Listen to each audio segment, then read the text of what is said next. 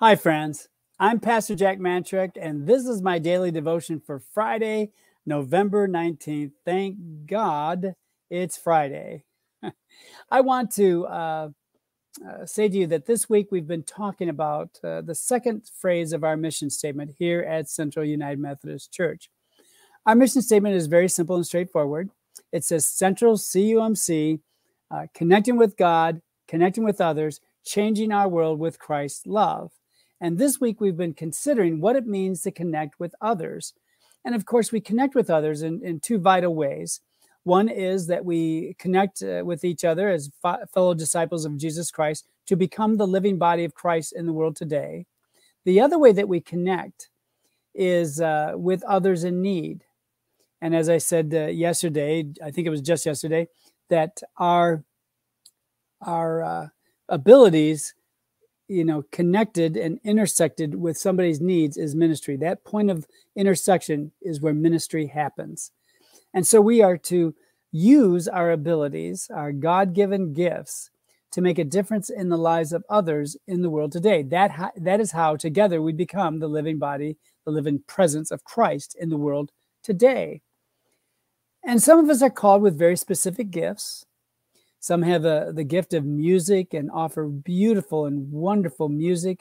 Uh, some uh, have the gift of, of, uh, of administration and should be working on committees in the church. And some have the gifts of, um, of kindness and uh, caring. And so they go out and uh, can care for people in our church. Some have the gift of generosity and can support the church financially. So we have a lot of gifts that we can offer uh, to the uh, to the world. But then there are some general gifts, I guess I would say. It says in, in Paul's uh, letter to the Galatians, uh, chapter 5, 22, the fruit of the Spirit is love, joy, peace, patience, kindness, goodness, faithfulness, gentleness, and self control. Um, sometimes goodness is uh, replaced with the ge- word generosity.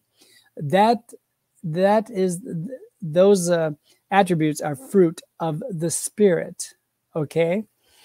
So we all are to to share that fruit. So there's our, our specific uh, gifts that we can uh, make a difference in the world by sharing those gifts. And then there are the gifts that we all should be sharing in the world love, joy, peace, patience, kindness, goodness, uh, or generosity, faithfulness, and self control are the, are the fruit of the Spirit that make a difference in all of our lives through sharing. So I want you to think about how do you share love? How do you share joy? How do you share peace, kindness, goodness, faithfulness, and self control? Those are the things that people will be looking at when they see you interact in the world today. Maybe not for the maybe you're not out there saying, "Oh, I'm going to change the world right now, and I'm putting on my discipleship hat, and I'm going to go out and and uh, share uh, God's good news." But just in your everyday interactions, you should be thinking, "How is my life demonstrating the fruit of the Spirit of love, joy, peace, patience, kindness, goodness, faithfulness, gentleness, and self-control?" Are you gentle in your dealings with those uh, in the store, with the clerks and and cashiers? Are you kind to those who need a helping hand? are you are you loving in, in the words that you use?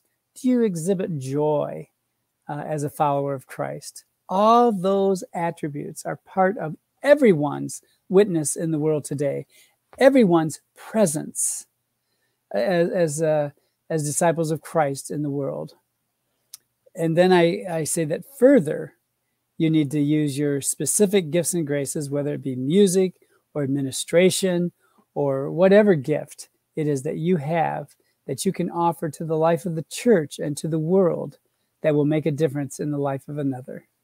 That's what it means to connect with others. Let's uh, let's pray. Gracious God, we thank you for the opportunity to come together this week to talk about how we connect with each other within the church and then with those who are in need in our communities where we live, play, and work. Help us, Lord, to keep connected with the needs of the world, that we may know those needs well, learn about them, and see how we can share in bearing those burdens and alleviating those pains. Gracious God, be with us that we may exhibit the fruit of the Spirit in the world today, along with our great and wondrous gifts which you have bestowed upon us. In Christ's name we pray. Amen. Hey friends, it's Friday. Uh, hopefully you've had a uh, hopefully you've had a good week. We encourage you to join us for worship on Sunday. Uh, that's uh, 10:30 here in person and uh, on on the uh, on the internet as well. God bless you, and have a great day.